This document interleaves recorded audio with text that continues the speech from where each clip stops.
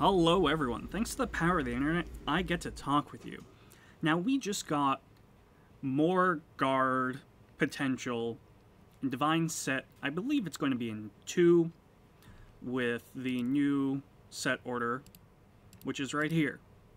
Now let me tell you, this thing is pretty bad.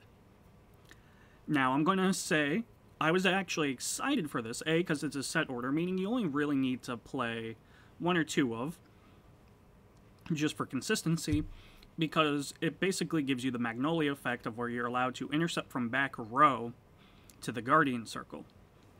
However, after you guard with it, it gets bound, which in Stoicheia, we really like recurring. Like Zorga, anything from the drop is, you know, an order that we're, we're going to bind ourselves to Alchemagic, meaning this is not going to be played, and we like our pieces. Same idea with, like Lianorn, you don't want to guard with your back row because you want your back row to, you know, boost and then boost with your Vanguard. And those are really the only decks that are really seeing play. Um, mainly because most decks outside of Magnolia don't have like a grade 2 or like anything worthwhile in the back row to guard with. Now there can be some niche things like in Roa. You can call a plant token and guard with it. I'm pretty sure they have 5k shield. Um, but outside of that, there's not real use for this because you want to be playing other things. Now, yes, there's this for consistency, which searches it out for Soul Blast, and it gets 5k shield if that's on. So sure, yeah, it's a draw trigger uh, on a body. Uh, this is free to uh, play, however. Now, everyone's going to Ingolv because this is the strongest target, because Magnolia should say gives everything intercept and can go from back row, but it doesn't. Meaning this is a 15k shield that is just going to waste because you're using it for its Soul Blast on play to grab a card. Now, I do enjoy that we're getting more defensive value in the game, and I'm pretty sure other, you know, nations, if they get this same set order, could use it better. But we've already tried this song and dance with, let me zoom out a bit, with Stoicheia before we have more to search out a blitz order. The blitz order, of course, is Sweet Honey. Sweet Honey can also be searched by Burstinger. And it's a 25k as long as another version of Honey is in there. But this is kind of a six card inclusion. And even though this would still cost the same amount of deck space, we don't have anything. Now, to show you this in Magnolia, I've made a new build. I've innovated long before this to fight Blagmire. Let me pull it up for you. Let me get...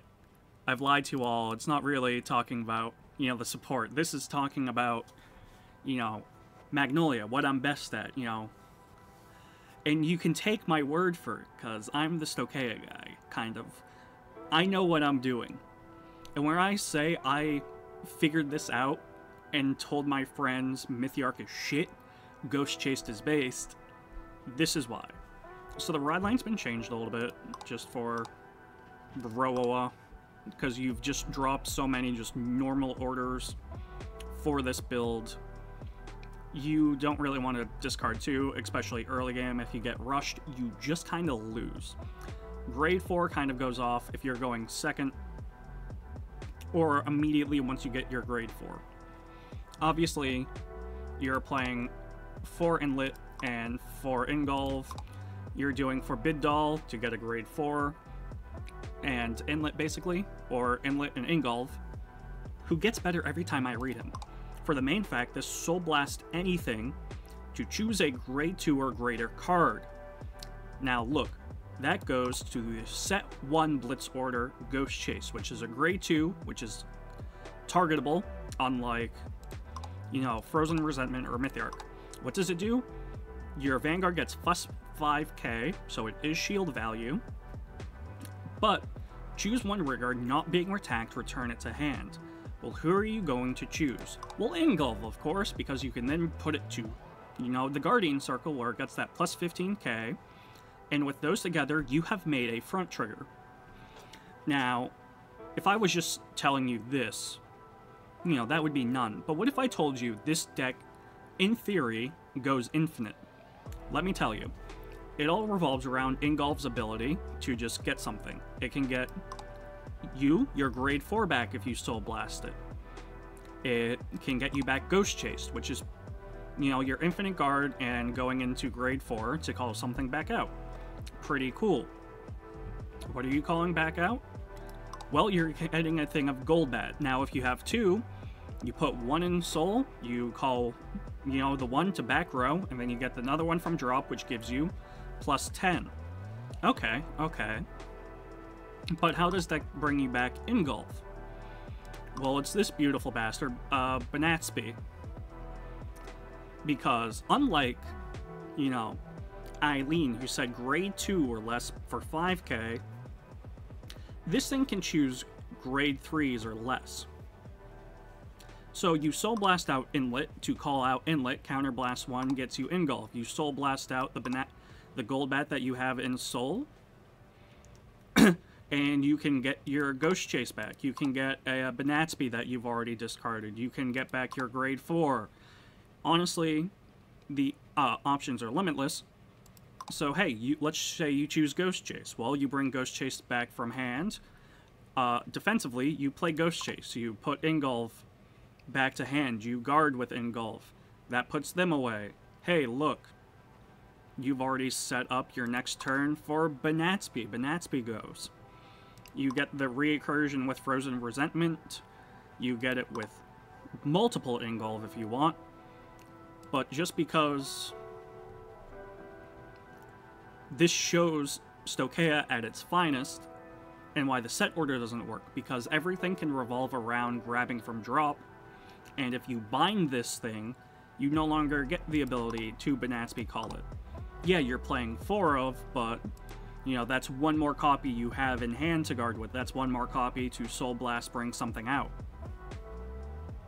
Like, it's the whole reason why I no longer see the grade 2 as a weakness. Why?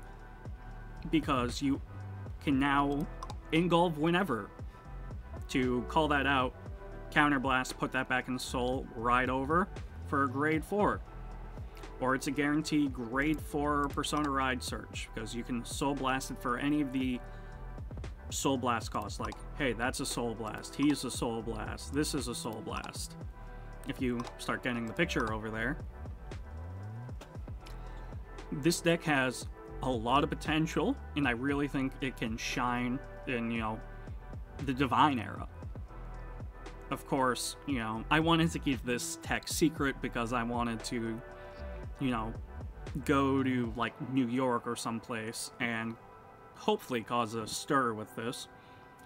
But with everyone talking about the set order, I just had to bring attention to this deck list and kind of why, you know, this card right here, it just isn't worth it. Like, it might be free, but it's space. And if you saw the Magnolia deck list, everything is so small and congested already. It's a well-oiled clock, honestly. And a lot of other decks are going to suffer the same consequences, unless you're playing something like Shield Fisher. I know it's... But if you really look at the rest of the ride lines of Stoicheia, I don't see any deck that would fe feasibly play this. But I do appreciate, you know, its existence. I think the effect of intercepting from back row should have just been any grade from Magnolia. But I guess if you want to throw it in the deck, you can call back a trigger and guard, guard with it. You don't really reoccur those. You just kind of use them once. Yeah, so that's my thought on it you know, let me know what you think. If you made it this far of my ramblings, uh, Danka, you know, thank you for making it this far.